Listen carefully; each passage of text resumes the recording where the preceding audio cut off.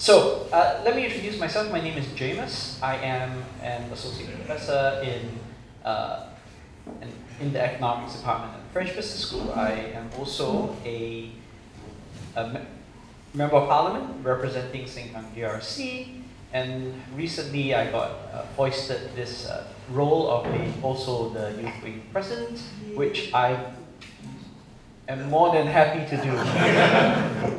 um, so, uh, I'm also a voter, like all of you, and I vote in Kebun Baru uh, SMC, which is one of the uh, SMCs around the Ang Mo Kio area. So you can imagine uh, the kind of competition I get. Now, uh, thanks for joining us on a Saturday afternoon. I know that Saturday afternoons is precious time for you to recharge but nevertheless, uh, I hope that this forum on voting will be valuable to you. Notably, this is a forum on voting for the first time, but uh, not just for first-time voters. So what we have uh, in our panel is a number of people that have voted X number of times. We'll leave uh, the specific numbers undeclared to protect people's uh, identities and ages. Um, so what's nice is that this is an opportunity for people to reminisce about their voting experience and just how they think about that. Uh, it, just in terms of structure, what we'll do is we'll start off, I'll get each of our speakers to speak briefly for five minutes on uh, just one thing that they have thought about uh, in the process of voting. We'll, I'll, I'll then have one quick reaction based on what they share, uh, we'll then open up to questions, both from the floor, and if you sign up, you'll know that you have, many of you have pre-submitted questions, so we'll select uh, from among them. Of course, many of you submitted questions, we're not going to be able to get to every one of them, I apologize, but perhaps if you are eager and uh, have a burning question that you feel needs to be addressed, uh, feel free to try to grab the mic. I can just start us off. Uh, so why voting from a purely economic point of view, uh, there is actually no reason to vote. Let me explain.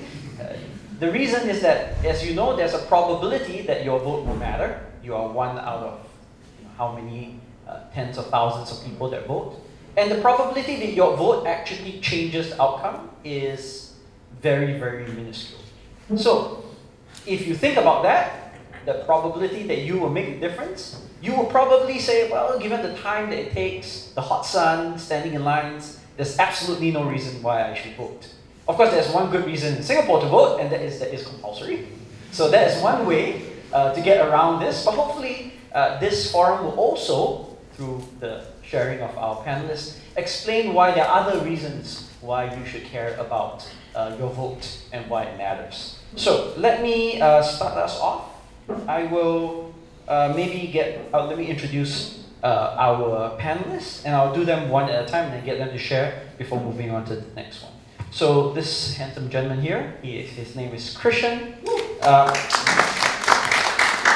he's currently a first year university student and is interested in developments in the aviation industry. That was all he gave me.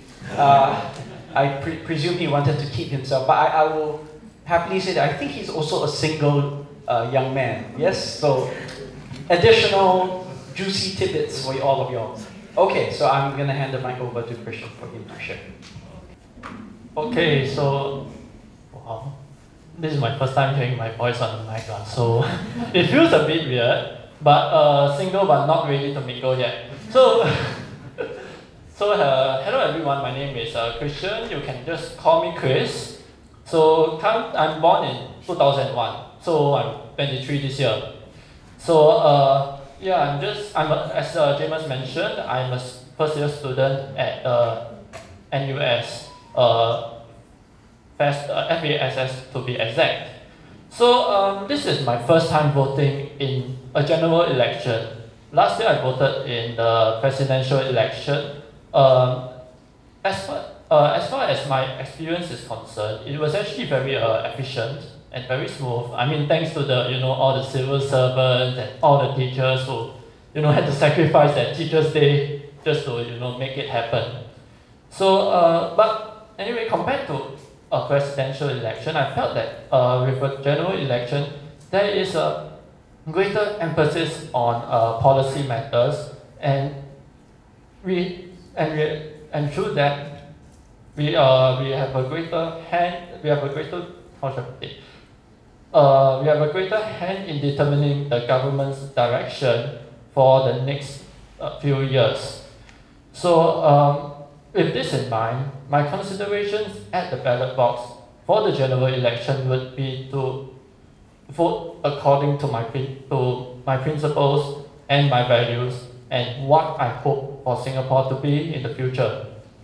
And um, for me personally, I hope that Singapore would be much more egalitarian, and I hope that my candidate would um, would uh, pursue such uh, would, would, would go down a path that uh, helps to support that uh, ideal. And um, I think I would like I would like to think that there's a sim there's a there's a sizable block of voters, especially those around my age, who would feel that way as well. And um, after all, I mean, we were the generation that uh, grew up with, you know, uh, the global financial. My, my parents experienced the, the 2008 uh, global financial crisis. My uh, we experienced COVID, and we are also going to deal with the effects of climate change. So I think that we are that uh, at least uh, those voters my age, uh, some voters my age, and myself included, would hope for a government that would be able to effectively address these issues uh, when, when we go to the polls uh, in the next uh, general election. Lah. Wonderful, thank you. Let me introduce the next uh, member of our panel, uh, Mu'tasim. He is a product specialist for a car and he has a deep interest in current affairs and geopolitics. He tends to dabble in photography on the side. This sounds a bit like a dating profile. Uh, now, uh, I will let him go on and share his thoughts about uh, his voting experience. Hi folks, I'm Mu'tasim, and uh, as Jamus has mentioned, uh, I'm quite interested in geopolitics and current affairs which also is the reason why I'm here today talking to all of you and with this great uh, panel here. So my experience uh, has been uh, more of a like voted for two times, one general election and one presidential election. So this year will be my third time as a voter. My, uh, I would say that my uh, expectations for the the elections or voting who the right candidate is lies solely on like what they offer to the table. Um, I am not really the one who is easily uh, affected by the emotional strings that are being pulled. Um, that's why I'm not really interested in like very populist policies. But at the same time, I would like to have the, the policies and, and promises resonate with my personal values. And uh, therefore, it's very important that uh, I make the right choice. Now, even though Jamus I said voting um, doesn't have a doesn't make a big big impact on the, the final results, I still feel that it is uh, our duty and it's a way for our voices to be heard by the incumbent. So uh, it's, uh, it's, it's a very interesting balance of when you when you put your or rather when you cast your your vote in the ballot box. Um, it is a way to tell the incumbent, look, I like what you're doing, or I don't like what you're doing, without getting off. As simple as that. So that is where you can see whether, uh, or rather, the incumbent can see whether, oh, we are doing the right thing, or oh, we have a lot of things to improve on. So it's, it's a valid it's, it's a valid way to express ourselves um, away from the social media pages, away from uh, maybe voicing your your expressing your discontent in a, in a public area. It's it's legal, it's compulsory, so why not? That's all I can share for now. Thank you. Thanks, Natasha. All right, next in line we have Sylvia. Sylvia's message to me about her bio was you make it up. So uh, here I am making up her bio. Uh, she, so Sylvia, of course, uh, is a veteran of uh, in politics. She joined in 2001. Uh, so she has seen through many elections. Uh, she is currently the chairwoman of the Workers' Party. And of course, she is deeply acquainted also with uh, voters, voting rules, and so on, uh, to the extent that whenever we are confused about standing orders in Parliament, she is our go-to person. So uh, it's perhaps from that deep well of knowledge that we tap on now that I invite her to share some thoughts. Okay, good afternoon, everyone. Thanks, Jamus. So, um, as you can see, you know, uh, I've had some voting experience. Uh, but then in the history of uh, Singapore's politics, you'd be surprised because uh, there were quite a number of general elections where uh, uh, we faced walkovers. You know, today you would be surprised if any constituency is uncontested, which is a very healthy thing. But this was not always the case. You know, and in fact, one of the reasons why I joined WP in 2001, okay, which is 23 years ago, was that in that particular election, two thirds of the seats were not contested. It's hard for us to imagine this, an election that's focused on just one third of the seats, but that used to happen. So we should not take, you know, the right to vote for granted because uh, it requires people to contest. Uh, and I'm so glad that Mu'tasim has rebutted Jamus on uh, why it is, is not, uh, is still worthwhile to vote. Uh, and for my part, I'll just add that, uh, you know, in, in general, people vote for two reasons. One is to achieve a particular outcome. That means maybe you'd like to and place uh, a member of parliament or change a member of parliament, that, that is instrumental voting. But there's also uh, voting to send a message, which I think you articulate so well. I don't have to um, emphasize on that. And every party always looks at percentages. So whether we win or lose, we will see, oh, did we do better or not than the last time? What could be the reason and so on. And I can tell you the ruling party looks at this very seriously. So please uh, do not devalue the chance to vote okay, it's, it's hard to come by, and we, of course, uh, have also the political parties to thank for giving us the opportunity to vote. Okay, so um, Jamus asked us actually to share uh, our first voting experience, uh, and I, I want to share this because I don't want you all to make the same mistake that I made. Some of you look like you've voted before. Okay, no offense to the way but, but some of you may be voting for the first time, and and the procedures might intimidate you for the wrong reason, and I just want to touch on that uh, from my first experience voting in 1991, um, way before most of you were born, I think. Okay, so at that time, uh, I was in between jobs uh, because I had applied to join the police force, and you know, to join any civil service department, there's a whole procedure of interviews, and it takes months for you to finally get uh, accepted. So when the election was called, I was in the process of going through these interviews.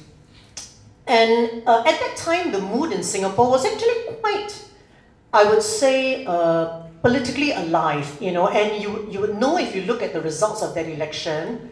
In 1991, that was the election where four opposition MPs were elected, which in Singapore's history was a great, uh, almost a tidal wave, even though it's just four seats, because we never had that before. It was always JB Jeyaretnam alone, and then maybe one more person, you know, Mr. Chiam, and then suddenly four people. So, so the mood was like that. Uh, so anyway, I, I had made up my mind, you know, uh, to do my part for democracy, so I, I went to vote.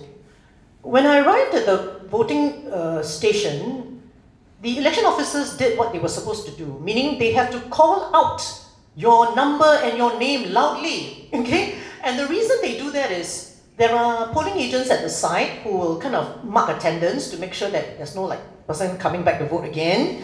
You know, uh, so so it's and it's in accordance with the Parliamentary Elections Act. But when I was standing there hearing my full name called out, Lim Swee Lian Sylvia, you know, this number, I don't know why, but a sense of panic came over me. You know, it's just the moment that, oh my goodness, you know, I'm at the cusp of doing something that might affect me personally and um, because of the panic that I had, thinking, oh my goodness, maybe I cannot get accepted into the police force. You know, something might happen. I, you know, and my job uh, prospects would be ruined. So I caved in to my fear, and I went in there and I voted for the PAP. Now, I, I, I'm not revealing this for the first time. This is not news. Okay, I've written about this in the past. You know, but I, when I analyze that back, first of all, I'm ashamed. You know, and secondly, it, it also reflects a certain lack of confidence in me at that time about ballot secrecy, which none of you should have because over all these years, you know, in my um, work with the party, we have always made sure that at the end of the counting process, you know, that the ballot boxes are sealed, you know, we sign on it and it is transported to the Supreme Court vault by Gurkhas. And then six months later, we go there to retrieve the boxes for incineration and we know that the seals are all intact. So some people sometimes have this query about, oh, you know, there's serial numbers and things like that. But I'm very confident, in fact, the party has been putting up a lot of information on this, that voting is secret. So you should not have any fear in your mind you just vote for whoever you want. Okay, this is our right as citizens, and, and I think we shouldn't take that for granted. So maybe that's what I'd share for now, Jamus. Thank you, Sylvia. So on that very emphatic note, uh, I can now welcome our final panelist. So Jackson, eh, he works in communications and is now uh, with one of uh, what is now one of the world's largest market infrastructure and data companies. He also contributes to the grassroots effort in Serangoon and serves as uh, on the party's media team and youth wing. So he's part of uh, our establishment, if you will. Uh, and personally, he is also very interested in history and political theory. So perhaps a small wonder why he has uh, gotten involved. So I will leave it to him to share his thoughts. Hi, everyone. Um, thank you all for coming today. Firstly, it's really good to see all of you all.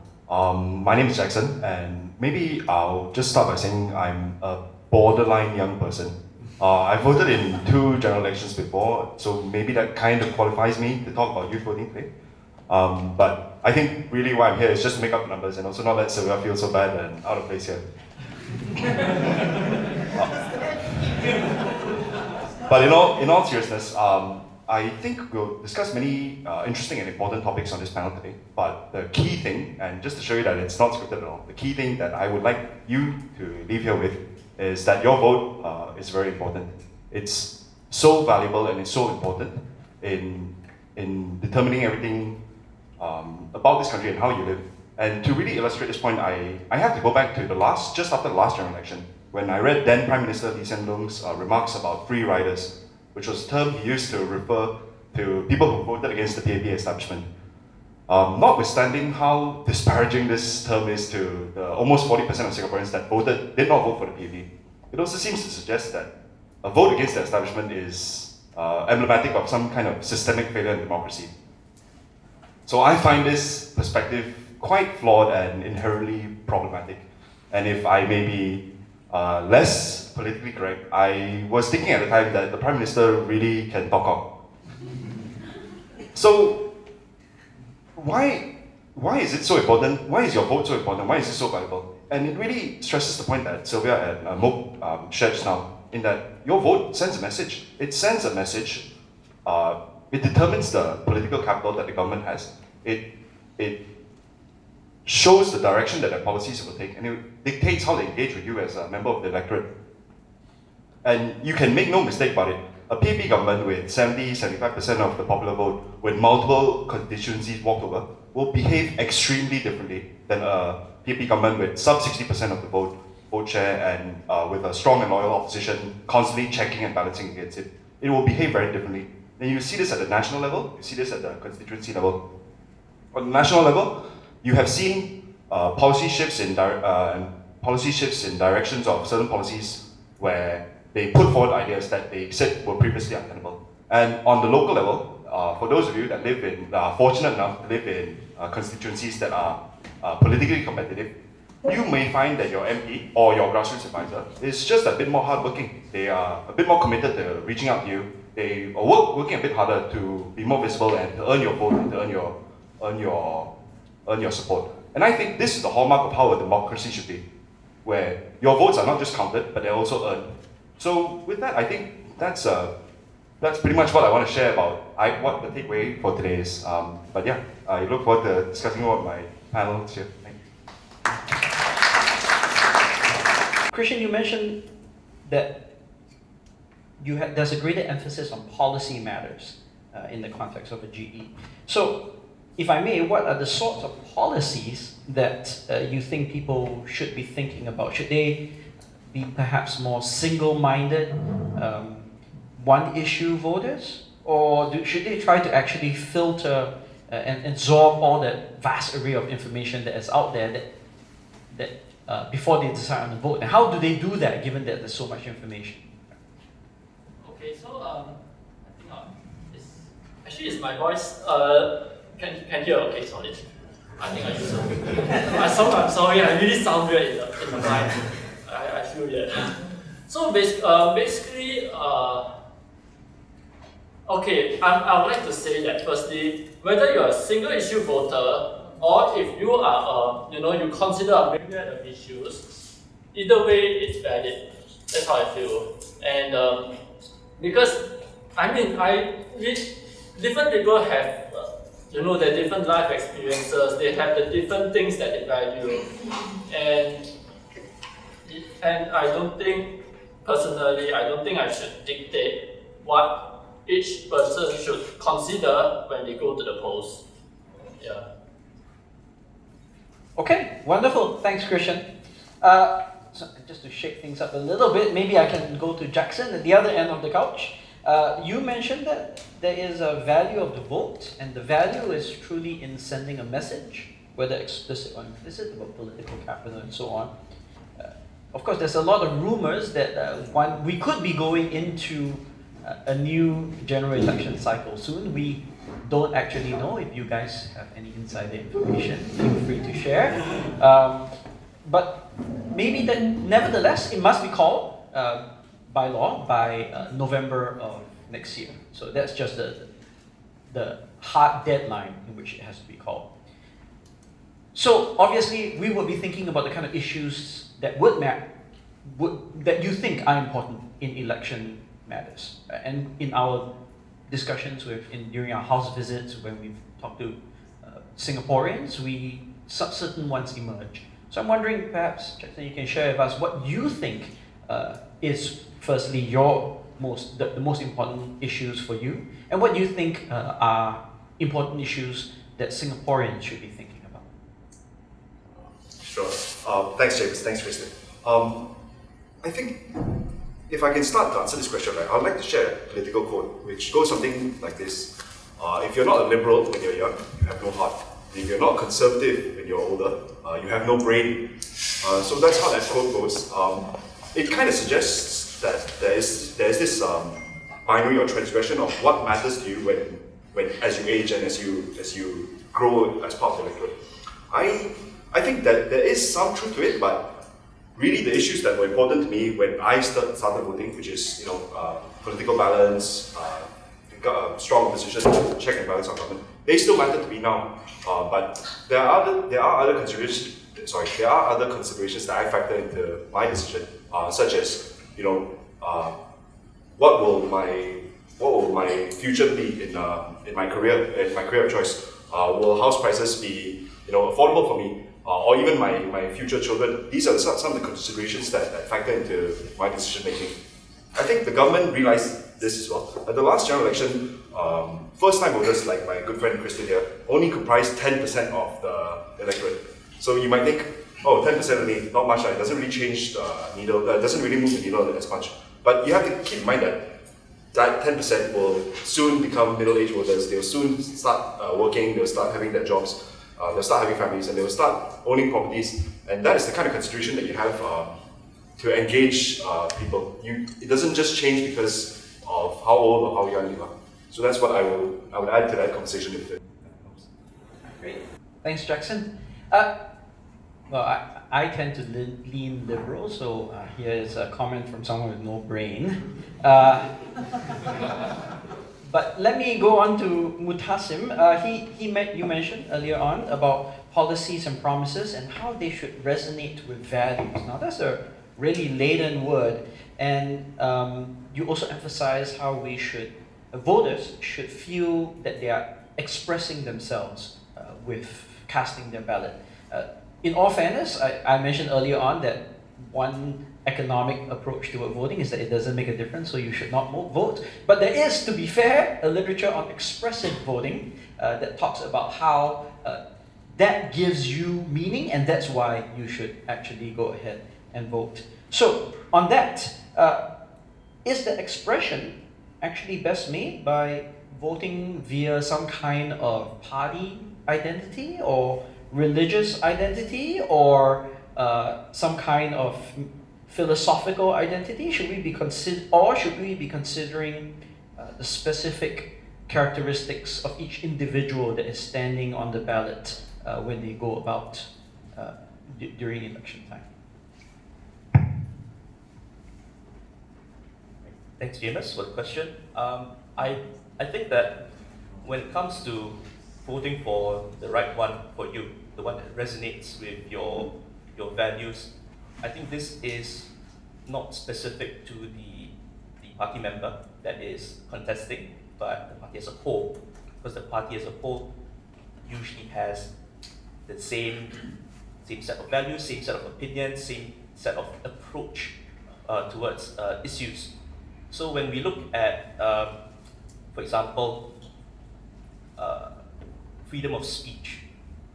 You have POFMA, the one I mentioned earlier on, or when we look at religious issues like um, the, the Tudong issue um, from a few years ago where Mr. Faisal Manap had championed for a long time, um, we saw a lot of party support, um, even if they were not sharing, uh, even if they were not uh, of the same race or religion, uh, even if they they had other other thoughts.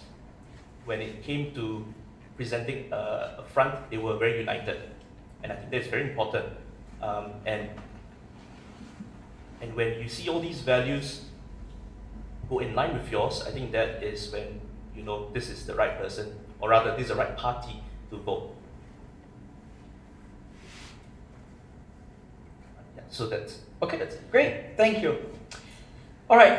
last but certainly not least, uh, Sylvia, you mentioned earlier on that when you first were involved in politics, you uh, that two thirds of the seats uh, were actually not contested. So, literally on the day that the election was called, uh, not not on the day the election was called, the nomination day closed, uh, you would know which who the government is.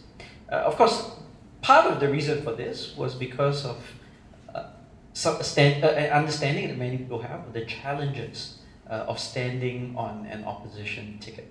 Uh, and this is one of the submitted questions as well. So, uh, given this background, why, why do you think anyone would ever want to join the opposition? What, or you can share why you decided to join the opposition, or you can share both. Thanks, Jamus. Okay, in 2001, um, which was the election which I mentioned had two thirds of walkovers, it wasn't so much about uh, people not wanting to join the opposition, but the fact that they didn't have time to prepare. Okay, so uh, if, if you, those of you who are alive at the time will recall, okay, uh, what had happened was that there were the 911 attacks in New York, uh, and um, so what happened in Singapore was that the PAP government decided that they would call, kind of call a snap election. Okay, so the previous election was in, uh, let me see, 1997, so 2001, it's okay. But, um, so what had happened was that the boundaries, uh, which are always redrawn before the election, right? They were released, and shortly after that, the election was called. So basically, the, the other parties didn't have time to prepare, uh, and, and, that led to, what's one of the contributing reasons, as far as I could remember, uh, why uh, two-thirds of the seats was not contested. And coming back to Jamus's question, that actually was the impetus for me to join WP because I'm a believer in democracy, warts and all. And I was telling myself that if this trend is going to continue and we're going to have elections with just, you know, one third, one quarter of the seats contested, it's not meaningful for Singaporeans. And therefore, how are we going to make it more meaningful? We have to participate. So that was to me the compelling reason. And I told myself, no more procrastination, you can see the, the writing on the wall. You just have to do it because you will regret it if you don't take action now. it, and I think many of you may have this similar experience. Like, say, when you're watching an election, you get really fired up and wow, okay, yes, we want to change the world and all that. But after election's over, if you don't act on it, right, about a year later, you'll probably be back to your normal, same old routine, and then that opportunity or that passion is not harnessed. So, so that was actually the impetus uh, for me to join because I wanted to defend Singapore's democracy, which I felt was at the risk of backsliding really badly.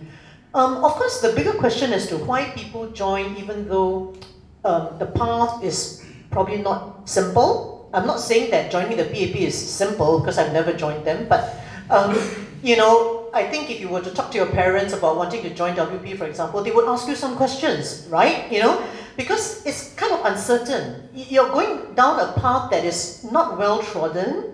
There are some risks along the way. So each person has to ask themselves what they want to do with their lives, right? I mean, okay, so some people, and I can fully understand, they have maybe, uh, maybe people who depend on them. So they have to work um, to earn a decent salary to support the people that depend on them. That's perfectly respectable and understandable. Okay, but there are other people who, who are wired differently. They, they want to make a contribution to society um, and they want to push boundaries, you know, because they think that that would benefit uh, fellow Singaporeans. So I believe that many of my party members have this motivation.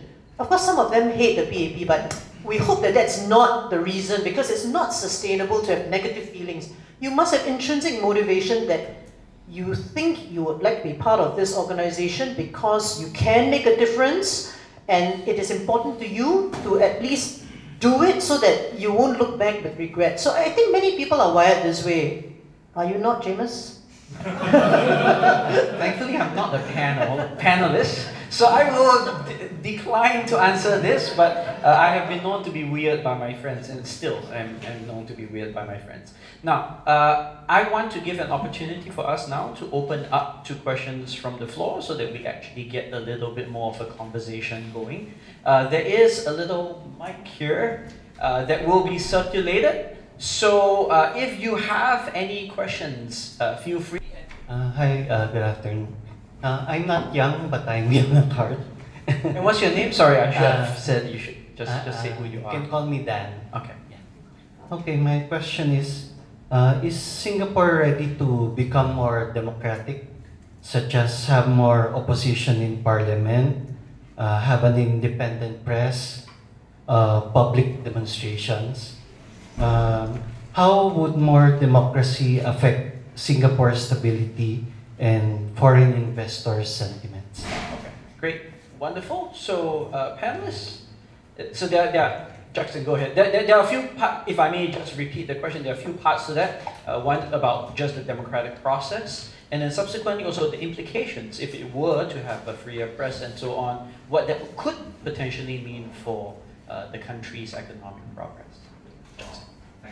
Jackson. Thanks, Dan. I think I'll just stress the point of uh, more democratic processes.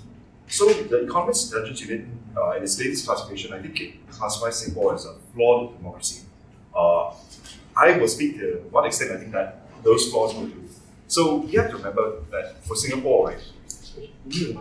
Sorry. Thanks. Thanks, Can you guys hear me?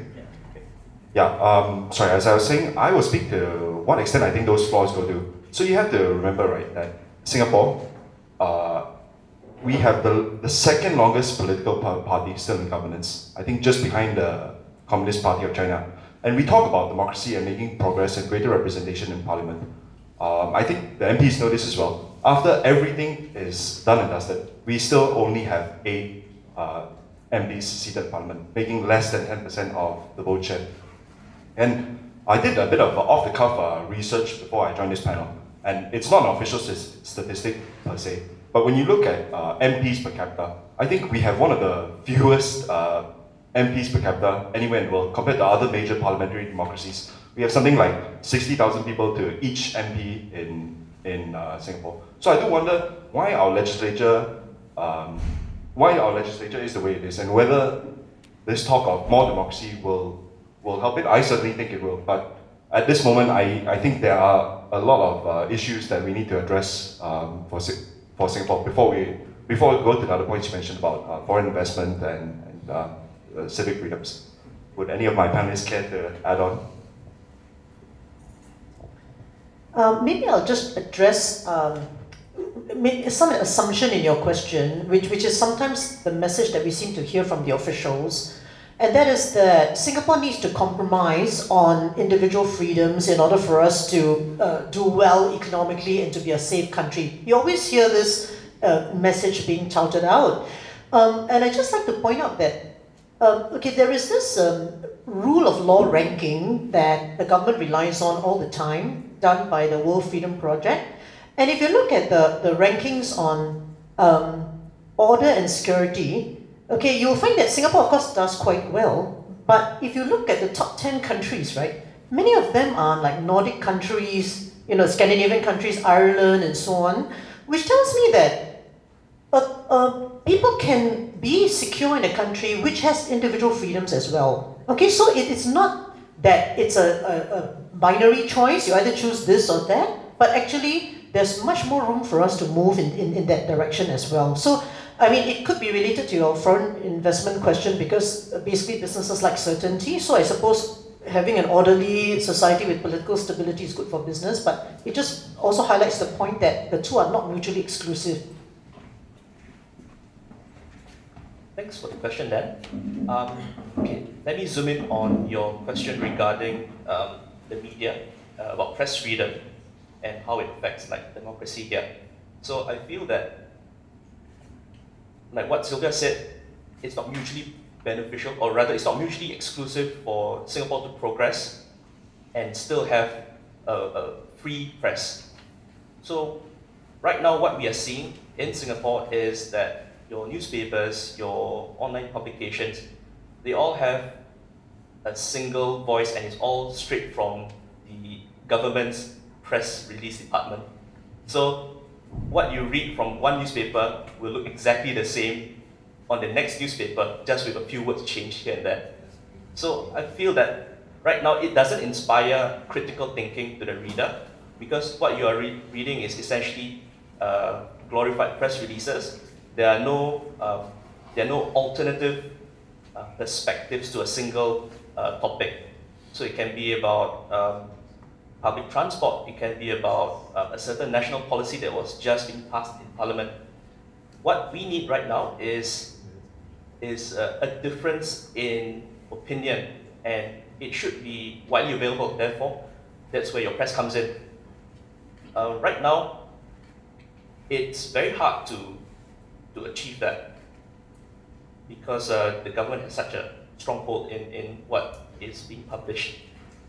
But I believe that if you change, if you have uh, you have more uh, alternative voices out there, we can still stand to benefit because the citizens feel more engaged. They feel that they have a stake in, in, in the issue. And right now, uh, we are seeing that change. It's very small because there are a lot of barriers that, that the incumbent has put up um, to, to prevent you from speaking out too much, too loudly. Um, but I feel that if were to remove those barriers, we can still progress as a nation, we can still be very successful, but at the same time, we can still stand to benefit from a much more uh, politically aware um, society. Yeah, um, I think just to build on uh, Mu'tasim's point, um, with regards to, to journalism and the press, so um, I mean, there's this thing uh, where, you know, if let's say you, I think it's called access journalism, I might be wrong, I'm so sorry. But um, basically, if uh, the press publishes something that is um, sort of goes against the, uh, or hurts the feelings of the newsmakers, like for example, that might be the government, or that it might be, you know, very important people, uh, they will not be able to gain access to this uh, these important sources of news that people want to hear. And but the thing is, from what I kind of understand, I might be wrong. Uh, there are you know many young journalists out there who really want to, whether in the alternative media or in the mainstream media, who actually want to you, know to be a to function as a check and balance against the government and important people to hold them to account. So uh, I think that you know there is there's a little hope. Yeah. Okay, wonderful. Uh, just a quick fact check. This one as a moderator. Uh, the, the longest standing uh, political party is actually not uh, from China. It is from North Korea. Uh, and, and notably, it is the Workers' Party of North Korea. Uh, no affiliation. So ju- just a quick point. And, and in fact, there are quite a few that uh, the PAP is the long, the longest standing one from uh, a uh, in, in from a democratic, nominally the democratic system. The- A self-actualized woman, if they are.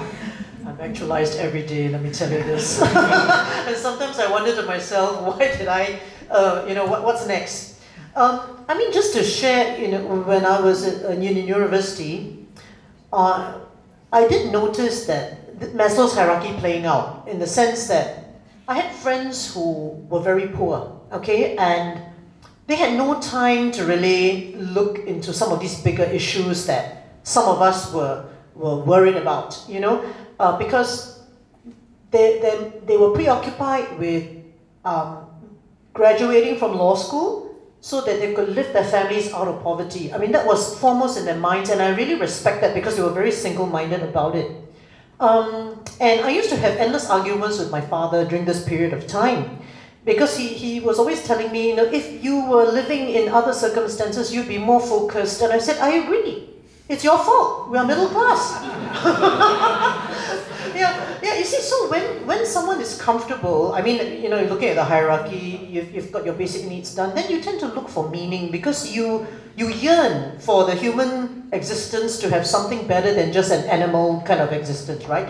So so. Uh, but your question is quite a difficult one because you're saying how do we actually get voters to think in this way, right? Um, we've never thought of it uh, as that because I think in general political parties in Singapore don't think about how we can get voters to feel self-actualized because everyone is at a has different priorities, right?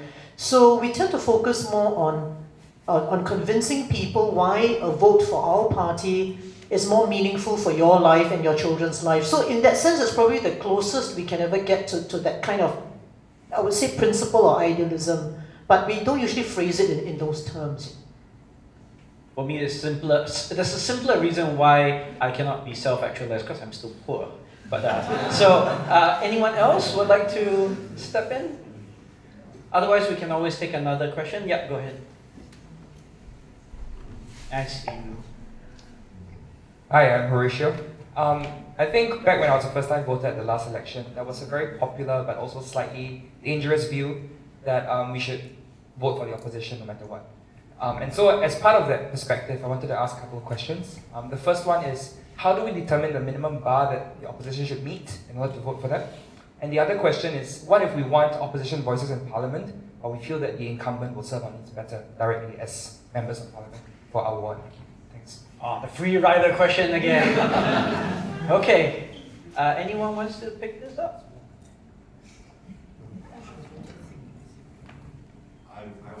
Um, I'll try because this really resonates uh, with me, Horatio. Again, I really need to emphasize that the PB has been in power for almost, um, the, not almost, the entirety of Singapore's independence. This is a government, right, that has pushed out rhetoric that, oh, at the next general election, if too many people vote for the opposition, then there could be a coalition of opposition and the PB will not be in government and, and all this. And I really have to, I really have to bring the facts to the table, right, in that after everything is done and dusted, we still have eight MPs in Parliament. You know, we're so far away from touching the, the from, from we're so far away from touching government, right? We, we should really focus, as uh, Pritam says, on breaking the PP's uh, supermajority in the first instance. I think when we get to that stage, then we can talk about, oh yeah, this might happen in the future, uh, there's a change in, in government. The other thing I would like to emphasize is that, you know, a change uh, in government, not that I'm advocating for it um, or anything, but it's not necessarily a bad thing or, or, or it's not necessarily a bad thing. And I take us to the recent UK elections where Labour won after 14 years of uh, Tory leadership.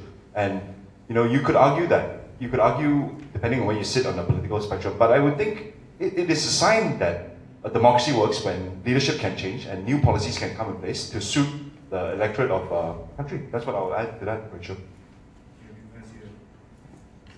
Yep. You, look like you're winding up. Yeah, so I personally I don't subscribe to um, this rhetoric that oh, if you were to vote opposition, the country will fall the next day. That is, it's scary stuff, and they have phrased it for that very reason. It's to scare you into not voting for opposition. Yeah, I've talked about um, how voting for for your your preferred candidate is based on your values, but you should also not be swayed by by the, the boogeyman that, that uh, the PAP is like um, hovering in front of you. We, we shouldn't be scared of that. Uh, in fact, if you look at other countries, they have thriving economies, they have very successful societies, even with a multi-party system with uh, an almost equal balance of, from either side. So, yes, PAP has been successful in bringing the economy up over the past few decades. That we cannot deny but we cannot subscribe to the to the theory that without PAP everything just dies off immediately. So that is where we need to we need to be a bit braver and and realize that if the other candidates have very sound policies, very good um, alternative uh, alternative solutions to a problem, then we shouldn't be afraid to, to cast the vote on them rather than incumbent. Uh, and I think, like what he said as well uh, earlier on, casting that vote will inspire the incumbent to work a little bit harder, regardless of whether uh, on polling day they win or lose. If the gap narrows down, they will work harder. That is fact. We have seen it before. Um, I've seen it in my my uh, estate. Um, so it, it's good to, to get your, your representative to, to be a bit more hardworking. That, that's the way that your tax dollar works. Sorry, I think my question might have been slightly unclear. I think what I was getting at was that if you wanted to vote opposition because you saw the importance of it, but you felt the opposition that was contesting your ward was quite incompetent, then how would you go about with that? Because right? that's also incompetent or maybe not directly aligned with the values that you hold. Yeah, sorry. I think question. each voter has to decide for himself or herself how to do that calculation. Um, and I can just share a range of reactions that I've received, you know. I have a friend, such a dear friend, he, he told me, you know, he will always vote for the opposition candidate because he does not want that person to lose his deposit. Now, I think that's very profound. It's very profound because if you get, you know, less than 12.5% of the votes or something, you lose your deposit and it's for about $14,000. You know, this person is coming up with this money to give you a chance to vote. He lost his deposit because maybe he wasn't a strong candidate, you know, but so so this this voter, my friend, told me that he always has this in mind that I don't want this person to lose deposit because this person is playing an important role uh, in, in the system.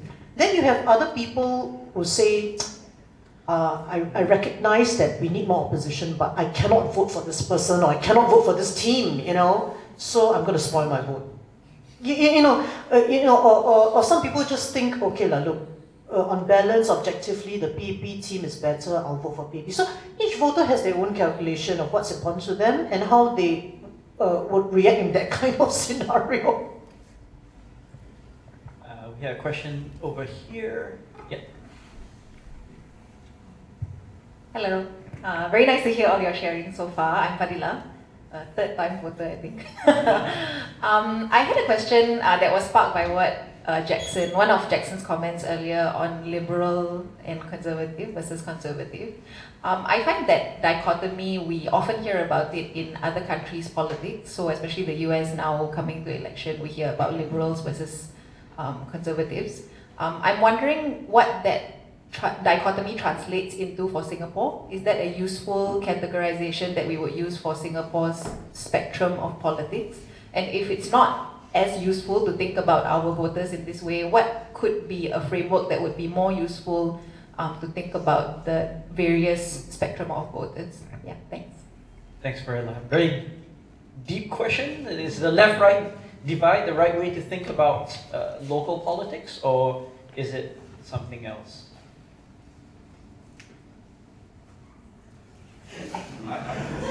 Don't don't all rush to the mic. I'd like to clarify that I don't personally subscribe. That's not my quote. It's just something that has existed Yeah, in, the, in the past. Um, I think again, it really, it really depends on, on where you are. Some people care more about bread and butter issues. Some people care more about um, the ideological, philosophical angle. Um, for me personally, the issues that that made me vote the way I did. Sorry, the issues that made me vote the way I did, you know, two generations ago, are still resonate with me, and they're still very important to me. But factoring into my thinking now, I, you know, I do have to look at, um, you know, bread and butter issues. Can I get good jobs? Can I get a, a good home like my parents did? Can I uh, build a future for my, my children? So that's what factors in my thinking. But maybe Jamus, you can also uh, add. No, something no, to I have no thoughts. I'm a blank slate. Uh, but maybe Christian, you have some thoughts about the left-right divide, or it's, okay, okay. And anyone else? Left-right divide is that uh, relevant in Singapore?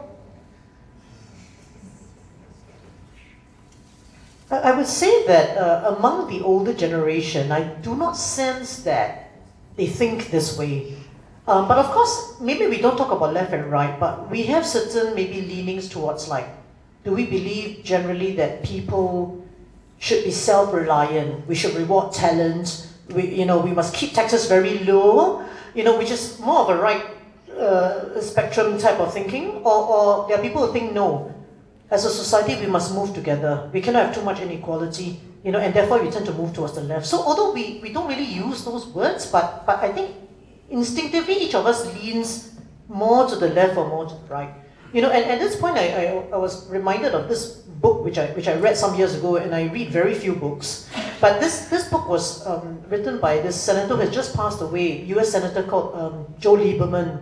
And what he says is that as politicians too, you know, we may start off on the left or on the right, but when it comes to taking part in elections and wanting to be elected, you'll see people moving towards the middle because you need, you know, the support that will push you over the line. So we, I think each have our starting points, whatever we call it, you know, but in the end, um, I think extreme positions are, are not going to have traction with the general population.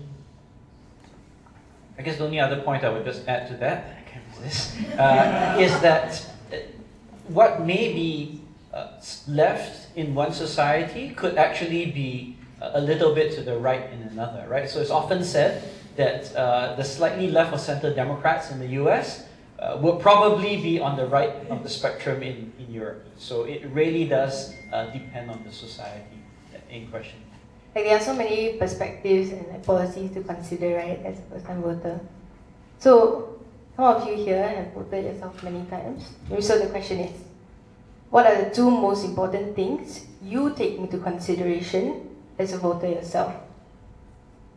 Okay, I'm not going to let you off, Christian. So you, you at least uh, have to some thoughts about for yourself. What are the two most important things? Uh, yes. Uh, first, okay. I think first hand, um, general, generally, I, uh, sorry, how may I address, how may I address you? Swan. Okay, thank you, Swan, for the question. Um, I think, firstly, I would like to look at what, I, I mean, uh, as someone who is very much exposed to, you know, social media and all that, I think I gained a deeper understanding of the plight of the marginalized in Singapore and what they go through. So um, in that so in that sense, I you know I hope that uh, with this in mind, I hope that you know the government. Firstly, the government would you know do much more to you know ensure uh, a much more equal society, and uh, second and secondly, um, I mean we, we have seen um, recently there was a lot there's a lot more um, uh, expressions of uh, public expressions um, like you know uh, public demonstrations and uh, graduation ceremonies and all that. So I hope that you know there would be you know there is a there is a demand for a great greater freedom of speech in Singapore, and I hope that you know uh, in the uh, uh, during the elections, I hope that the gov- the government would at least um, help to cultivate an environment that would enable uh, personally myself to uh, express myself. Yeah. Thank you. Two issues, Okay, so I usually vote with two things in mind. First is how the party or the parties have conducted themselves over the past few years. So this is like a, a report card for them. So if the party, let's, for example, let's put the incumbent uh, in the spotlight, as they always have, which is that if they have uh, spent maybe excessive amounts of money for a lot of vanity projects, um, they have not, if they have not solved issues that have uh, that, that the general population has faced, maybe like rising prices in transport, um, housing prices that are becoming a lot more uh, unattainable. If they are unable to solve all these critical matters, how should we be confident in voting for them? So this is something that I keep in mind every time I'm at the ballot box. So again, this is not about um, moving towards uh, populist policies, but it's about asking yourself whether I want to spend another five years with a party that has maybe let me down, maybe have made my life harder. Do you really want that? Or do you want to look at the other the other solution, or rather the other option, which leads me to the second point, which is uh, the feasibility of how the policies are being uh, presented by the different parties. So I can simply vote for a party that promises me the world, but if they are unable to to show like a very sound explanation of how they will achieve that in the five years, then I would have, if they are able to do that, then of course I'll have more confidence, then I would strongly consider them rather than the incumbent. But if they give me like a lot of like very general, very superficial uh, explanations without going deep into it, if they don't have like a team of economists, hello Jamus, uh, if they don't have um, team of economists or like experienced lawmakers or even people who are uh, experts in their fields, then of course I would have um, my doubts. Then I would be a lot less uh, confident, a lot less uh, inspired to have them on board to represent me uh, in Parliament. So those are my two considerations. Thank you. Uh, I don't know about team of economists, but I rely on my, my, my team of uh, lawyers and accountants to make sure that, that we stay out of jail. Uh, now, uh, see, now I, am going to switch gears to one of the user submitted questions. Uh, I, I thought this was interesting. Now, just to be clear, people submitted a lot of questions. Some of them tend to have more of a flavor of what would WP do kind of thing. I want to keep this more general along the lines of uh, voter or voter considerations, uh, especially for youth. So this I found very interesting. And the question is that since 2020, the PAP has been aggressively targeting the youth vote with a sponsored media content and influencer engagement, uh, for example, Friends of the PAP that many of you may have heard of. Uh, two of potential candidates, uh, one of them, uh, Professor Elmi, who arguably will contest in Sengkang, and uh, Professor Chen, who arguably will contest in Tampines, uh, the effects of media on youths. So the question is, what are some challenges in engaging the under 25 uh, voting bloc without resorting to, um, this is the person, so I didn't say this, uh, gimmicks or superficial point scoring? Okay, thoughts?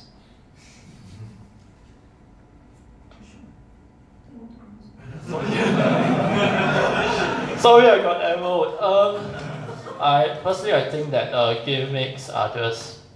I think it. I'm sorry if I'm blunt here. I think gimmicks just insult the intelligence of the youth, honestly. Um, I mean, there are so many things that the youth are concerned about, just like what, you know, adults are, uh, similar to adults, you know, like um, the cost of living, housing, the job market and all that.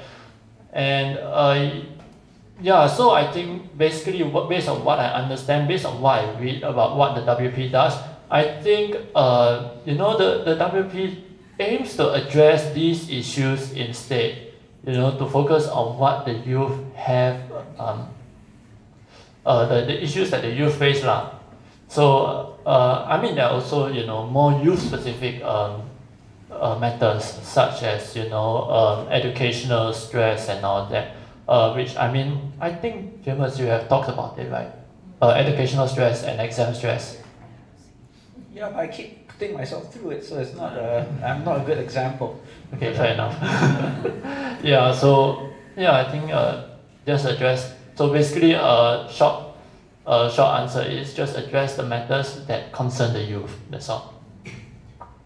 Can I please emphasize what Christian said, right? Uh, as a borderline young person, as a youth right now, I, I find it incredibly cringe, for lack of a better term. Like, the government seems to think that, you know, uh, aligning itself with Taylor Swift and Swifties and playing guitar and all this appeals to youth, youth voters.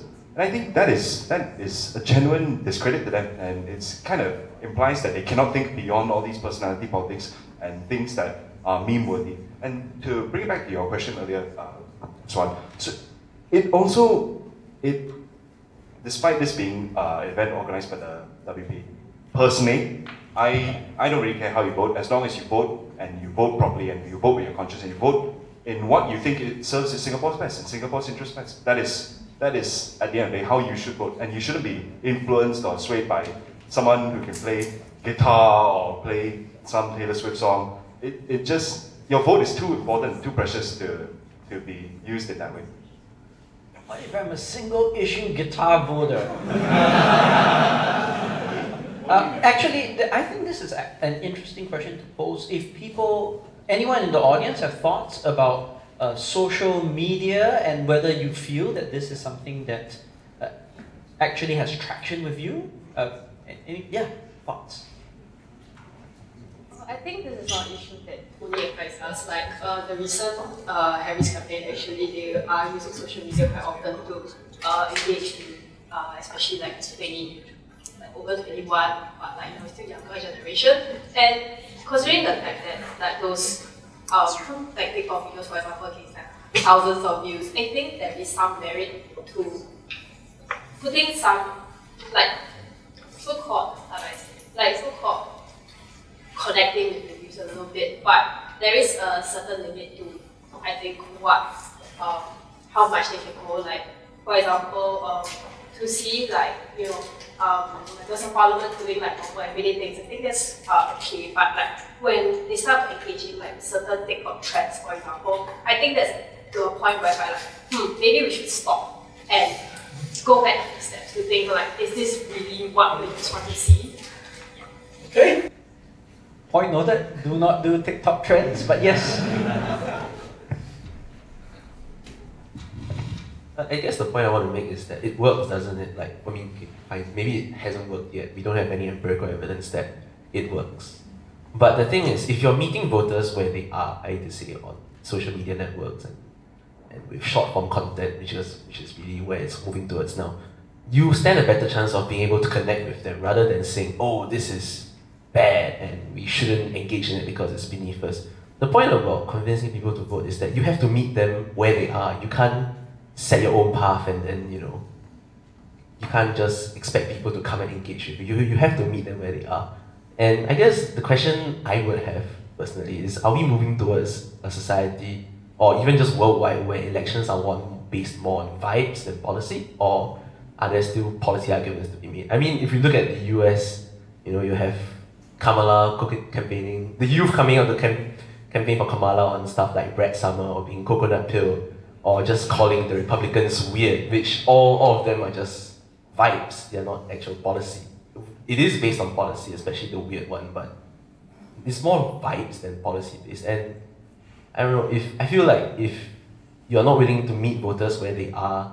You know, you're not willing to meet them based on vibes and focus steadfastly on policy. It's a losing battle in the end of the day.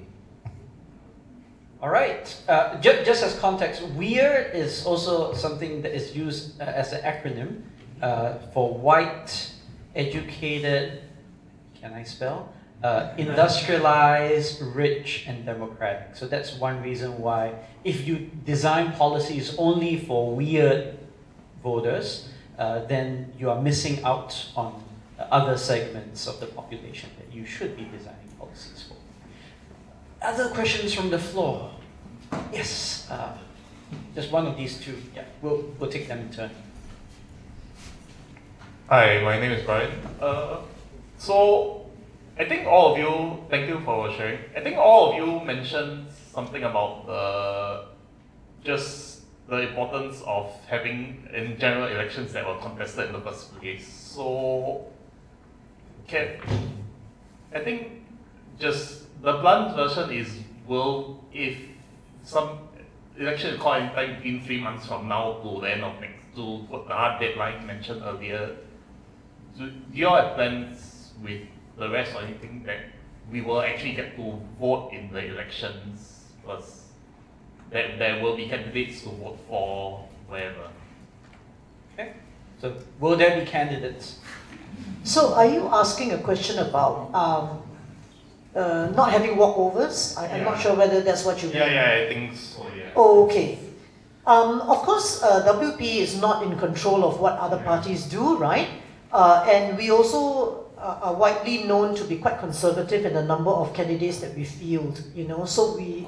We're conservative in some way at least. Yeah, yes, yes, we are. And, um, and like, for example, you know, for us to field 20-something candidates is kind of our norm in the last few elections, you know, so if you look at the number of seats, which is like 80 plus, you know, we're, we're not even at the quarter mark or whatever it is, huh? but we have to do the maths. So, um, but the good thing, of course, is that there are other parties, right? And uh, in the last one or two elections, I believe all the seats were contested, right? Because we managed to kind of decouple ourselves. um, so, if you look at, uh, okay, so there is a mechanism that, okay, and this usually comes into play after the new boundaries are announced. Okay, so we don't know whether the boundary committee has been formed, we, we don't know when this announcement is going to be made, but as and when the report comes out and the boundaries are confirmed, then um, the, there will be a, a sort of a pan-opposition party meeting, you know, we will attend and then we will kind of indicate which are the areas we want to contest and we'll try to work it out such that no ward is left uncontested and we try to avoid three-cornered fights as far as possible. It's not always possible, but that's what we try to do. Uh, and of course, whether all the seats will be contested depends a lot on whether people join, you know, opposition parties and whether, you know, the, the parties see fit to, to field the candidates. So uh, it also depends on whether there's, I would say, growth uh, in the opposition parties. So, so there is a mechanism uh, to, to try to avoid uh, having uh, walkovers in, in, in, certain wards. Okay, thank you. Uh, anyone else before? Okay. No? Okay. Uh, well, I, I, got, I got. I see your hand. But yeah. So. Thank you. Uh, Suhail, soon to be first time GE voter, uh, younger than I look. Um, so, no judgment, no judgment. Sorry, thank you so much. Um, no, just uh, uh, it was interesting just now when we were talking about the left-right um, uh, spectrum, right? Uh, but there's always something pragmatic about being a politician and trying to get votes. At the same time, you have your own values. So at one end, perhaps you went in, especially for you, there's a lot of idealism, a lot of uh, you know desire to see the change you want, but society is not ready. So how do you balance your personal values and the need to win votes? especially when you have sometimes issues. For example, Section 377A, thankfully it's history now. But you know, those are issues that are societal issues that you yourself have personal strong values of, but you also need to win votes. How do you balance that need for personal values with the need to get votes? So the question is how to balance personal values against getting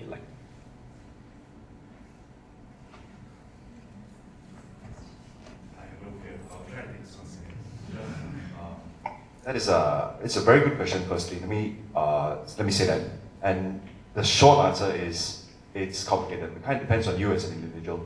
uh, I don't want to speak on behalf of him, but the first time I, I sat down and met with Pritam, uh, I explained there are a lot of things that the Workers' Party do that I don't really, mm, personally, I, I don't really agree with, I don't really align with. But on the other hand, there are a lot of good things that have come from the policies of the Workers' Party that push forward and improve the lives of Singaporeans.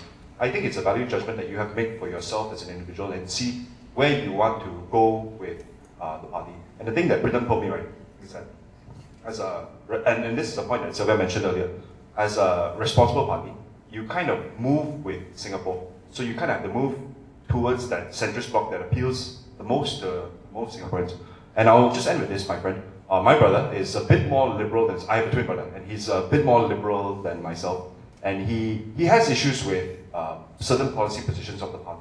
And he thinks, oh, why they do this, why they do that. And I always tell him, right, you have to, you have to, you have to take it as a complete package. You, you can't just look at it in a very binary way where, oh, if, if, if the party doesn't do this, then it doesn't stand for me, it doesn't appeal to me. I think you have to make that judgment as an individual voter or an individual person yourself. So that's what I'll add to that conversation. Mu'tasim? You seem no? No? Christian just looking down at his shoes. Okay.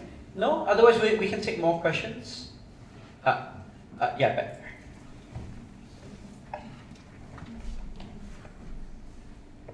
Uh, hello, I'm Emilian. Um, before I ask my question, uh, I would like to say one of the reasons why I came here.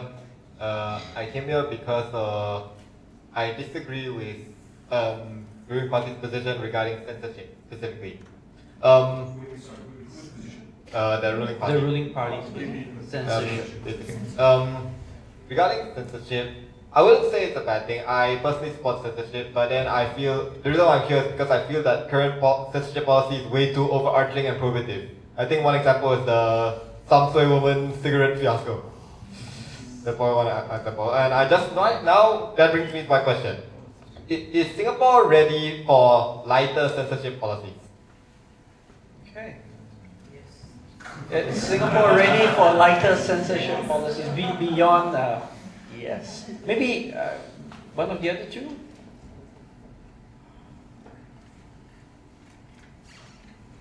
Um, okay, you, your question was whether Singapore is ready. You know, maybe we should ask whether the government is ready. You know, and I mean, Singaporeans, I think, you know, over time, we have become very educated. Um, we can make up our own minds about things. So I don't see why we should fall back uh, uh, from uh, a lighter touch to, to those matters that you raised. Of course, the question is, is whether the government is ready for it. And of course, we know there are some topics where they are touchier than others, right? So this is a discussion that I think Singaporeans need to have with the government. But I think that on the whole, I have faith in Singaporeans being able to make their own decisions and judgment.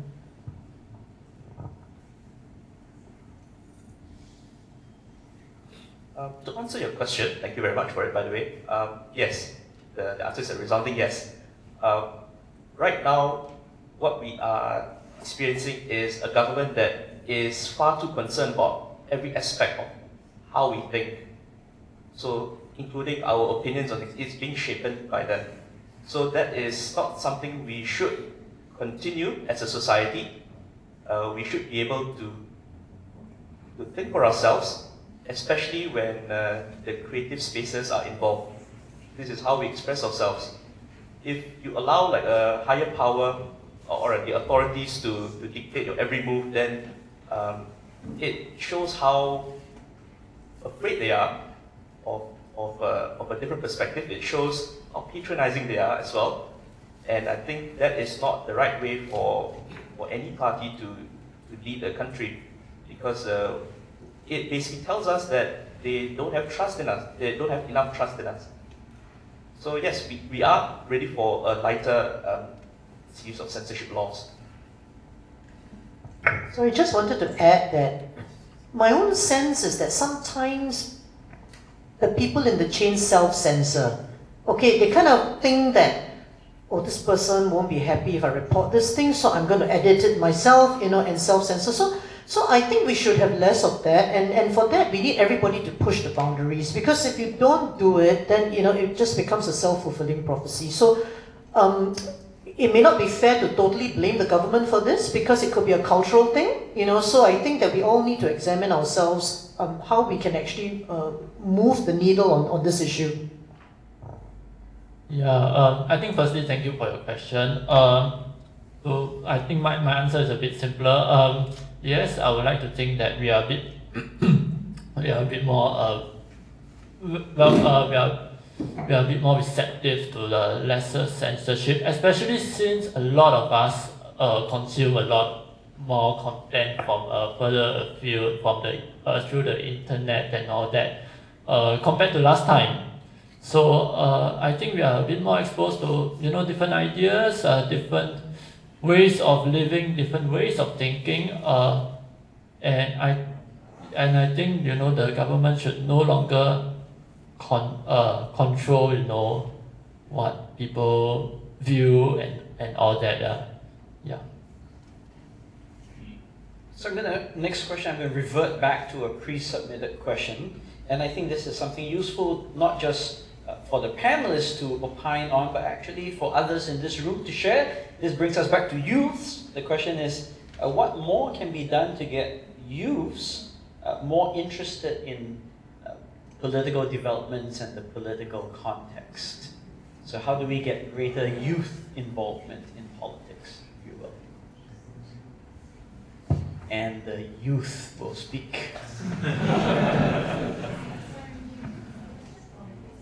Well, it says political context, but I, I, it can be, it, it, of, of course, policy is a part of politics, so feel free to broaden the scope of the question and we can just keep, uh, yeah, go ahead. Um, firstly, thank you to whoever submitted that question. Uh, I think that personally, okay, so I think I'll just uh, talk about my grand grandfather's story. Lah. So uh, basically, how I got how I got interested in politics was not you know through I think more well established means such as you know uh, model United Nations and all that. I mean, it, I I just talked politics with my father at the dining table. That's all I did, um, and I do think that through such um, you know whether it is at at meal time or some of you maybe at the smoking corner uh, you know, you just discuss, you know, issues of the day, and and just you know share how you know how the things that affect our lives, like you know, employ, you know, our jobs, uh, maybe you know, oh, the exam was too tough. How it is, how is it linked to policy? How is it linked to you know our educational policy? Why is it structured like that? And I think that would help us as youths or you know people who are not so deeply involved in politics to gain a better understanding of it and to become and to become much more uh, savvy uh, savvy voters. Yeah. Others? Um, speaking from my experience personally, uh, because I volunteer mainly in Serangoon, um, because of the because when Leon was there, the profile of volunteers we had were kind of younger in general. I would say the question is interesting, um, but there is a distinction between what we do. Uh, not everything we do is political. So I think if you if you're a young person, you want to give back to your community, you want to do a bit of volunteering, it usually starts by then coming to our MPS, putting a few hours here and there, doing a bit of food distribution. And I think over time they see the direction the party is moving towards, they see the motives of the people that they volunteer with, and they they see that affinity with the party's policies, and eventually they will also chime in and, and, and share their thoughts as a young person and say, yeah, this is how I want to contribute to the party that way. Yeah, so volunteering is, is very important, I would say. Uh, this allows you to have a broader perspective of things that happen on the ground. And uh, as a youth, this is some, this is an opportunity that, that you should take up uh, as much as you can. Um, that's not to say that the older folks shouldn't volunteer as well. It's not a youth specific thing, but it's, uh, it's an activity that is good for your, for, for your critical mind. Um, another thing I, that I think is important that will help our younger generations be more proactive in the national development is to have more open conversations, be it you know, face to face or in schools. This is where institutions come in. um, there should be a promotion of, of open discussions regarding policies, whether it's a national policy or a grassroots policy. I think this will allow them to be to, to open their eyes as to what is happening because to paragraph paraphrase uh, a saying, you may not care about politics, but politics will care about you. So whether you even if you, you, you pose a question to your friend, or rather if your friend asks a question to you, hey, what do you think about XYZ policy? And you, if you respond, oh no, I'm not political, uh, I don't have any thoughts, you know, I don't really care about it. I think that is a, is a fundamentally flawed uh, way of thinking, and that's something that we should change first and foremost before we move on. Um, as, a, as a citizen, especially when you when you step out of the door, you're already faced with the, the, the effects of politics and the policies. So you have to, to take that first step, discuss it with friends, talk about it, debate about it if you want, of course, without resorting to punching each other. Um, and then uh, in, in, uh, in other environments, let's say in your school clubs, and uh, I know that some universities have like uh, Singapore Affairs related um, uh, societies that you can join. Join them. Then uh, have, have very frank discussions, organize forums such as this one. Um, if it's an open door discussion, even better because people don't feel like they are being, they're, they're not being uh, closed off by gatekeepers. This is how you encourage people to, to be braver and, and more inspired to, to make a change, even if it's a small one. We, the room is in fact a select group you have selected to come here, so in principle you will all be a little more interested in politics. So I'm happy for you guys to contribute. How do you think, uh, as youths, you can uh, political processes can be more interesting for you? Anyone has thoughts? Yeah, please. Uh,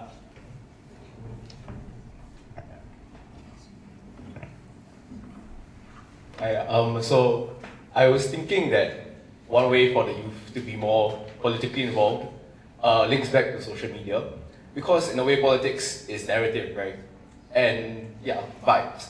So I think by creating parasocial relationships with the youth, you know, through like the edits and all that, the youth see, begin to see themselves as like an, as part of the narrative, and then they have a more vested interest in actually participating. I think that those are just my thoughts on it. I.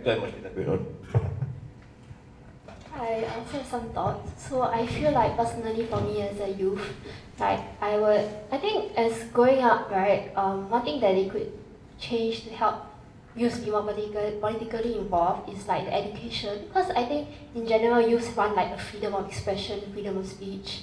And a lot of times you don't really have that freedom and that space to go and learn because everything here is very limited. Like the resources are limited, people are limited. So I think in that sense, like, um, yeah, like just improving the education in that sense, giving us a space and environment where we can express ourselves and grow our own um, desires and dreams. I mean, like, it's not very practical in terms of the Singapore context, but I feel like Singapore is at a stage where they are mature enough to develop that freedom and speech to uh, dream and have their own ambitions. Um, yeah, uh, I will hand you the mic.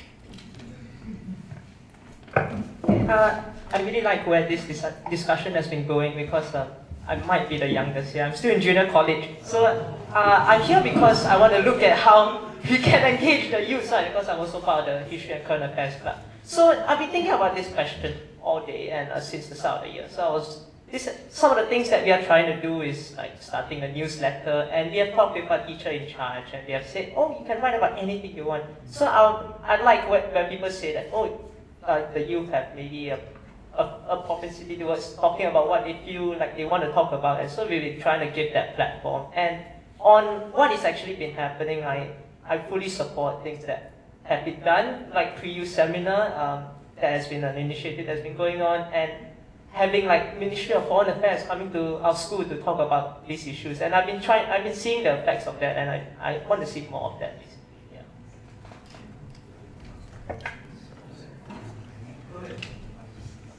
Hi, uh, again, I'm not that young. but um, I I just want to add on to what the gentleman said that uh, social media can be an avenue for engaging the youth. I mean, personally, uh, I, I, I became woke after watching a lot of YouTube videos of Noam Chomsky, Robert Wright. So, uh, on the part of uh, politicians like yourself, uh, maybe you can use social media to explain uh, policies and how it affects the average Singaporean's uh, life. Can I can I just jump in here and try to address the, the collective questions that have been asked already, right? I think there is a distinction to be made within uh, with engaging youth, especially if you're in opposition politics. I take everything you guys say on board. I think you're right. Social media is important. The thing is, and I can share my frank, frank and candid experience, right? There are many youths that come through me and they come and see, oh, this is what opposition politics is like. And they look at it and it doesn't have the, the glamour and the gloss and the sheen that social media has, and they realize, actually, this is not for me. And that's fine, that's perfectly fine as well. It is a bit harder for us as opposition, uh, volunteering with opposition, when people come to MPS and realize, oh, we don't have any air conditioned offices. Uh, you know, we don't actually have that savvy or that um, that savvy or that that um, viral social media network to engage with. There is that consideration for us um, when we want to engage you, per se, with social media. It's not that we don't want to, we just have some structural challenges um, there, but it's a reality that we're trying to overcome.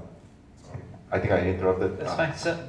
Um, regarding uh, how um, groups in, uh, basically political parties in general, uh, such as the opposition, can uh, uh, can give a greater say, basically can engage with youth more often. Um, I would say that social media is important, but in the end, social media is just a medium, uh, a way for you to communicate. But I think one way for you to engage with youth is very simple. Make youth part of something bigger.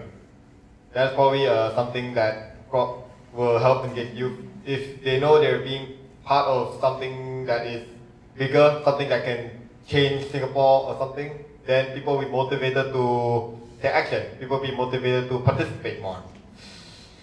Um, yeah, so it's ba- basically very simple. Make, um, try to make youth part of something bigger. Uh, more thought? Yes. Sorry, this is a bit of a different topic, but uh, so I found something, uh, what I found very interesting in what the panel discussed just now is the idea of self-censorship and how that's kind of the narrative from the ruling party that our stability comes from self-censorship. So my question is kind of just, you know, how can we as youths kind of stop that self-censorship that stops us from having, you know, interesting conversations with, you know, other youths and to really think about, you know, opposition as a, I don't know, sorry, I don't know how to end my question, sorry. Uh, that's okay. The uncles at the coffee shops have no problem now. But uh, the panelists, do, do people have thoughts about self-censorship? How to unself-censor?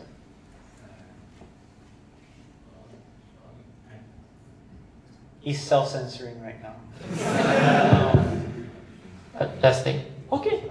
Uh, so uh, firstly, uh, I think thank you uh, to the both of you for your um, really wonderful statements and questions. Um, I think that firstly, as a youth volunteering in an opposition party, um, I mean, uh, like Jackson mentioned, it is certainly not glamorous, but it is meaningful. It and you know, nothing good ever comes easy, lah. Honestly, you know, it's I'm doing. I'm not just just doing it for myself. I am doing it for my um, for my future generations. You, you know, I I yeah. So that is that is why I am doing this, and at least personally, I feel that I'm being part of some I'm part of something bigger. And on your question on on your topic of uh, self censorship, I do think that personally, when I try to um, engage in politics with another with someone else, I try to do it with instead of self censoring. What I do is I try to phrase whatever I say in a more you know, uh, in a in a more empathetic way, and I, at least I also personally try to understand the other person's uh, point of view, and even if you know we disagree, it's it's fine. I'm at I'm at peace uh, with you know what I believe in. That's all. I, I would actually like to know the panel's opinion on the GRC system in Singapore, which is very unique actually. I have not seen this anywhere else in the world. Does it really favor the ruling party always? Because in the last GE, as we saw, one GRC actually doubled the opposition MP count in the parliament. I don't know which one that would be, but uh, some thoughts about GRC systems. Sure, I'll take this first then. Um, I think it's the GRC system is quite unique in, in terms of electoral systems. Uh, I mentioned this earlier as part of the panel, but, but we actually have the most MPs, uh, sorry, the lowest MP per capita for most major parliamentary democracies. When you look at when you look at the, uh, Taiwan, they have 200,000 individuals to one MP, and in Singapore that figure is around 60,000. So it begets the question, right, of why do you need so many MPs, first of all, and why do you need this convoluted GRC system to be overlaid on top of everything? I understand the government's uh, rationale in progressing it. I do think that times may have changed a bit, and it doesn't, it, it doesn't serve the purpose it, is, it was intended to. Uh, I'll just put it that way, at the risk of, uh, at the risk of persecution. And one thing I'll add uh, to conclude, right, about this GRC system, I think the government or the government is also realizing that it is the sword that they will live and die by. If they win big with GRCs, they will also lose big with GRCs when they lose them. And that's why you see a scaling down of GRCs from six man, five man GRCs to, I think, something more uh, appropriate. I'll put it that way. Um, so this is an old issue. Um, I think the GRCs were introduced first in the 1988 general election. And from that time uh, till 2011, how long is, is that? 98? 08, 20 over years lah. Um, no opposition party was able to, to win any GRC. Uh, and, and it is simply because uh, for smaller parties, right, it's harder to have the required combination of candidates uh, simply because we have fewer candidates. So, for instance, say I've got two very promising candidates, right? Um, and we need to fill a GRC. I have to find that minority candidate, otherwise, nobody can run. So, in that sense, it is at the expense of smaller parties because if you do not have the passport, meaning that minority candidate and it's gazetted whether this area is Malay or this area is Indian, uh, if you don't have the required, uh, Indian and others, sorry, so if you don't have the required person to become the passport, the whole team is just out. So for smaller parties, this has always been a disadvantage. And um, we also are, are not uh, convinced about the fact that if we had a system of single seats, that we would really uh, have no minority MPs in parliament. We don't believe that this is the case, and we have uh, case examples in history that showed that, you know, uh, for example, minority candidates could win in a predominantly Chinese constituency, for example. So we don't believe that Singaporeans vote primarily because of race, right? So, so, so this has always been an issue. But in 2011, that was the first time that uh, GRC fell to, to Workers' Party. Uh, that was in Aljunied. But I have to say, being part of that team, that it was a combination of very special factors at that time. Uh, and not so easy to replicate. Of course, we can talk about what happened in 2020, which is a different story altogether. But um, in general, there are disadvantages to smaller parties because of this. Some voters don't like it because maybe I like this two people, but I hate this third person. You know, then what are you going to do on the team?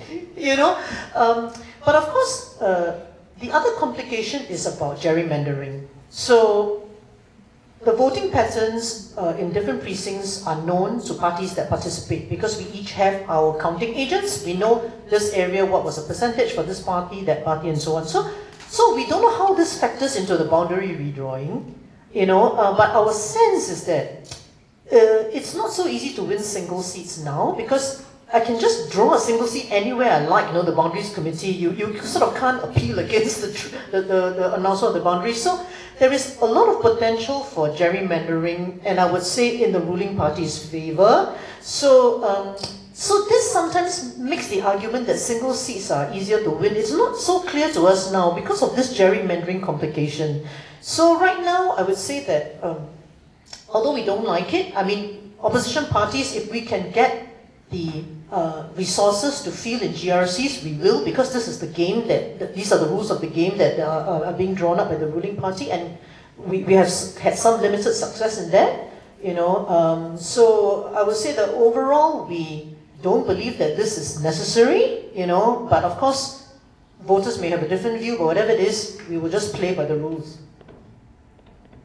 As an academic, I feel it's important for me to at least explain gerrymandering for those who are less familiar with the term. If you have ever wondered why uh, Upper Serangoon happens to be in Marine Parade GRC when you cannot see the sea, uh, that that is a strange shape. Uh, that shape was named after the first uh, governor that shaped this, Governor Elbridge Gerry, and how his constituency looked like a a salamander. So that's the origins of that word. Not more information than you probably needed to know. Yeah. So so more information than you needed to know. Uh, another question here? Yeah. Uh, we had a question about the voting age. So we understand that um, per your 2020 manifesto, you are looking into reducing the voting age to 18. Uh, how do you feel that would benefit our democracy or affect our democracy in any way? As an older person, I want to answer this question because I've been harping on this issue for since I think in Parliament since 2007 or 2008. Um, because at that time I was already beginning to realize that we are actually an outlier. You know, if you look at international benchmarks, and at that time already, which is like how many years ago is that? Huh? Like seven, 2008, don't know how many years. 16 years ago, around there. So we are routinely tested on that. yeah, so at that time already, you know, we, we saw that many countries had moved their voting age. 18 is very common in most countries. You have some countries that are even lower, you know, like 16 or something like that, but we were one of the few countries at that time that was 21. And one of the compelling arguments I found was that if you look at what happened in the USA when they, in the 60s, when they moved the voting age from uh, 21 to 18, was that youths age 18 and above were being drafted to fight in Vietnam. All right, and and this this this movement came on to say that uh, if I'm old enough to die, I'm old enough to vote. You know, like why why should there be a difference, right? So that was the impetus for the change in the U.S. And if you look in Singapore's context, it applies equally. If, if you look at the age at which uh, men are being drawn into national service, it's the same thing, right? So if you're old enough to fight, fight, you're old enough to vote. Okay, so, so I feel that, and, and I mean, our party takes that position still, um, and, and we feel that this is a very important um, change. Uh, number one, to bring us into, uh, into step with, with international norms, and number two, it will empower the youth to actually start thinking about the future of Singapore earlier. You know, to know that you have a chance to, to have your voice heard at the ballot box at an earlier age will make you think about uh, issues affecting the, the country at an earlier age. So we think all round um, it will benefit society as a whole. And, and the other thing which you might want to think about is there's, there's a lot of, there's some anomalies when it comes to the age at which you can do a lot of things. Like 18 is the age at which you can drink, drive, not together, but and you can drive, and you can be a director of a company. So if you think about the responsibility of a company director, I mean, owing fiduciary duties and all that, is that much simpler than voting? I, I, I mean, so, so do think about it. I mean, I don't think the government has a good answer. They just keep saying voting is a very serious matter. You know, you, you must be mature enough to vote. But then, you know, if you're mature enough to do many other things, I mean, I think it's a, it's a shallow answer.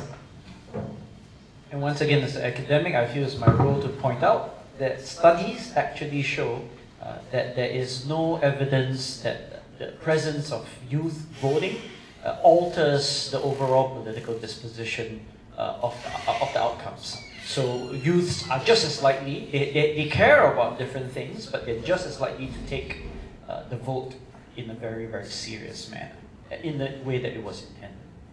Uh, do we have any more questions? I'm just sensitive to the time. Okay, so, uh, just one back here, and then, yeah. We,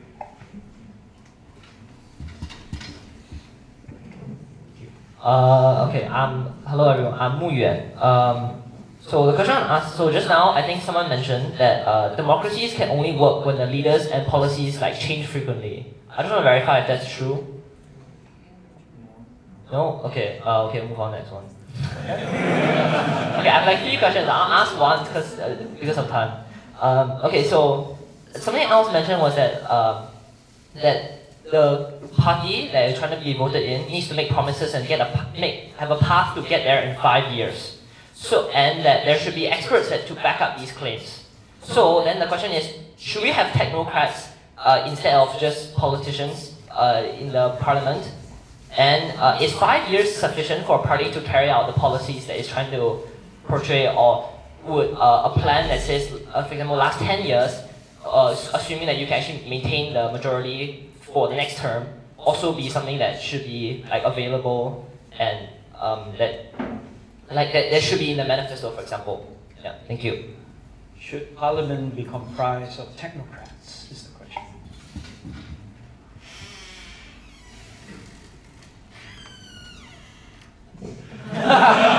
so he, he bravely grabbed the mic and passed it on. I think that's for the voters to decide, right? I mean, you can feel a team of some technocratic people and see how that goes. Um, and of course, I mean, uh, I, I, think you need to find some balance somewhere, you know, of people who can connect to the ground and then at the same time also be supported by people who actually can crunch numbers and things like that. So uh, each party will have to decide and the voters have to decide, you know, what kind of combination they like. Um, the other, the other question, which is quite interesting, is about whether elections should have a longer cycle. Um, I don't know whether you all will accept voting once every 10 years, you know. Um, and, and uh, I think five years is kind of normal. In most Westminster systems, you will see this kind of time frame. I think Australia is three years, you know, which, is, which some people think is too short. Yeah, so, um, but in the end, it's all about convincing the people, if you're in power, that you're, you're moving in the right direction, and hopefully people will vote rationally and you continue. So I think we have to trust democracy. There's, there's no better option.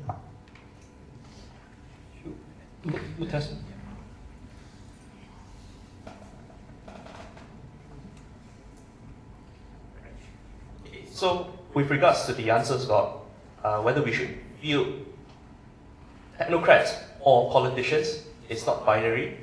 You need to have a good mix because you need people.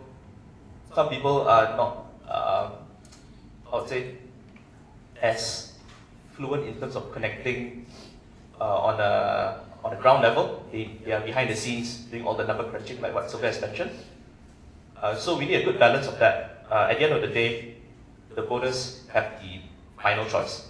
Uh, with regards to the feasibility of uh, policies that you present and whether they can be done in five years, I think it is not, this is my opinion, I may be in direct opposition with some people here, but I think that five years is a good aim, but it's not necessary because you are laying the foundations of a set of policies. You are laying a foundation of um, certain things that you want to do, and well, things happen. Five years will definitely be quite short, especially if it's a national, uh, national issue or a project that you want to do on a national scale. But what you are essentially doing is you are telling people this is what the party is moving towards, and this is what we are going to do. And if you believe in the logic behind it, then by all means, please uh, rally behind us. Uh, five years 10 years, it may take even longer than that, but as long as you are sharing the same, same uh, thought process, you want to achieve that goal eventually, I think that is, that is already a good start. So we have time for one last question. It's uh, the gentleman, uh, yeah, the gentleman over there, and then we will. I'll wrap up with the fi final thoughts from each of the yeah, so, so my question is uh, regarding uh, ideological partnership. Yeah, we've heard uh, in many avenues where Workers' Party has told that you know they don't have enough candidates to field uh, in multiple constituency. Um, so is there a possibility because Singapore doesn't allow uh, post-poll alliances? Uh, we only have pre-poll. So is there a possibility where I know not, not in the immediate elections, but you know in future, where there can be a constituency where you know candidates from Workers' Party and an opposition party can stand together uh, if they can find a middle ground in in ideology. The reason why I'm asking this is, you know, there is a lot of support. That there can be a lot of support for Workers' Party in constituencies where they don't field candidates. Yeah. And so people feel that you know they have been left out, and you know they still want to support Workers' Party, and they want their voices to be heard. So is is that a possibility which Workers' Party has thought through? Uh, we're not considering that at the moment um, because um, it's not that we uh, are isolationists in that sense, but it's just the practicality of the whole thing. Uh, and, and we are also very conscious uh, of the fact that uh, you see, WP actually has been around now for 60, to do some maths lesson, 67 years. 67 years, all right? We are, we are, besides the PAP, we are the, the only opposition party that was formed before independence that is active in elections today. And that branding has been built up over a long period of time. We have supporters who um, are, are still uh, wanting WP to progress further. So we are quite concerned about any brand dilution, you know, because we've built it up and, and there is brand recognition. In fact, some years ago there was a, a press survey, I think it was conducted by Zaobao, the Chinese daily, some years back about brand recognition of political parties. So of course, the PAP brand with the lightning is very well recognized, almost 100% recognition in the people survey. But for WP, it was about 94% recognition. So for us to, to dilute that, I think there is an electoral, there's a cost to us. Uh, at the same time, also, uh, any alliance will, will bring in questions about, okay, so uh, whose agenda do we adopt? Uh, how are we going to go about, what are the issues to canvass at the election? Who's going to, you know, who's going to lead, you know, so there are some of these unnecessary complications we find. So at the moment, we're still focused on, on building up our party, of course, in the distant future, I don't rule it out because we never know how Singapore politics will change. But currently, our focus is still very much uh, based on building up the party and offering voters a choice based on our own branding. I won't add much more to what Sylvia said but I one thing I'll say as a, as a voter, not as a party voter, right, is that how would you feel if if for the Workers' Party, right, walking around and being in the constituencies that we that we compete in is synonymous with our party brand. How would you feel if all of a sudden there's a WP contingent somewhere in the West where we don't really walk that often? I, I don't think it's that compelling to voters per se, just because our brand is as good as Sylvia mentioned. Okay, I'm sensitive to time. Uh, of course, everyone. Okay, one last question. It seems I, I'm a, such a pushover. Thank you. Okay, I want to address here. I personally believe that both the Workers' Party and the PAP have played their part in shaping Singapore. Like, there's good and bad in everything. So, to what extent do you agree that PAP has done good despite being an opposing party?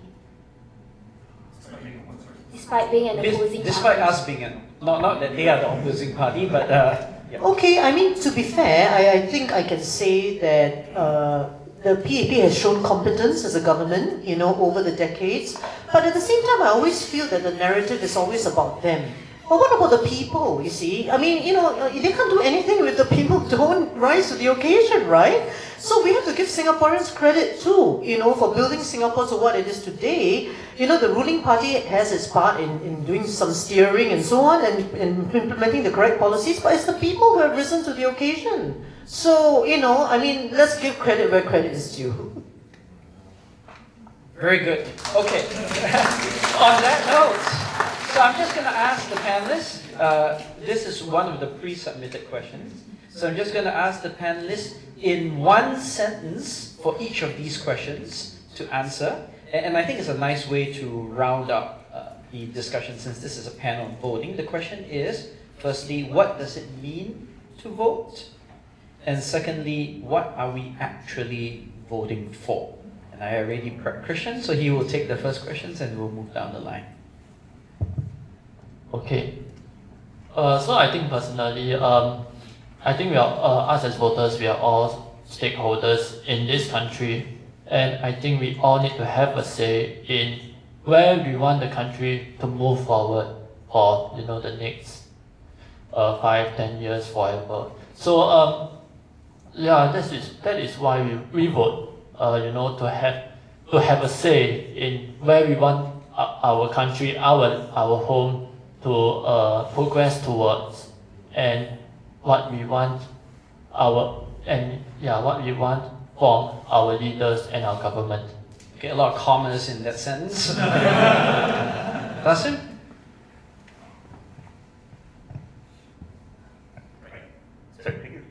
Dasim? Yeah. So, what does it mean to vote, and what are we actually voting for? What does it mean to vote, and what are we voting for? Okay.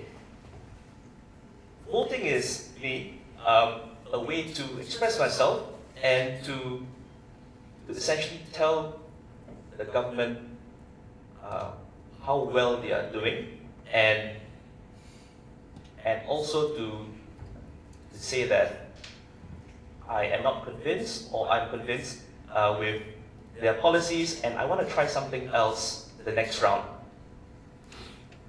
And uh, it, it goes the same for the policies as well. Uh, what am I voting for? Well, I'm voting for my future. That is the gist of it. If, if you want a longer answer, I'm voting for my future and ensuring that it will be a brighter one where my, my interests and what I stand for are being represented properly in Parliament. Great. Sylvia?